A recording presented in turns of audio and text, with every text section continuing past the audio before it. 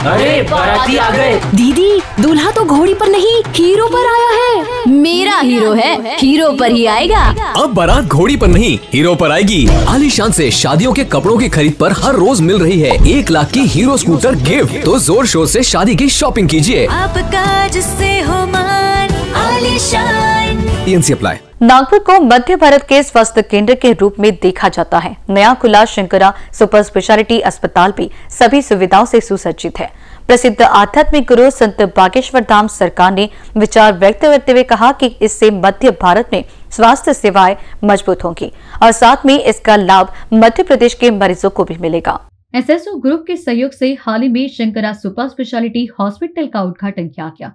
इस मौके पर वह मुख्य अतिथि के तौर पर मौजूद थे। विशिष्ट अतिथि के रूप में बागची महाराज तेजराज जी जैन उपस्थित थे। इस मौके पर अस्पताल के निदेशक doctor Jitendra Yadav, doctor Saurabh Agrawal, doctor Amit Chakraborty मुख्य रूप से उपस्थित थे। बागेश्वर धाम अस्पताल के इंफ्रास्ट्रक्चर और यहाँ की चिकित्सा सुविधाओं को देखकर संतोष व्यक्त किया।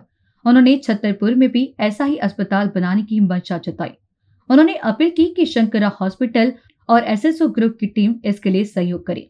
शंकरा अस्पताल 50 बेड्स वाला अस्पताल है, जिसमें कार्डियोलॉजी न्यूरोलॉजी और न्यूरोसर्जरी पॉलीट्रामा और अच्छी तरह से सुसज्जित आईसीयू और गहन देखभाल है, ताकि मरीजों को अन्य जटिलता में भी तत्काल चिकित्सा देखभाल मिल सके।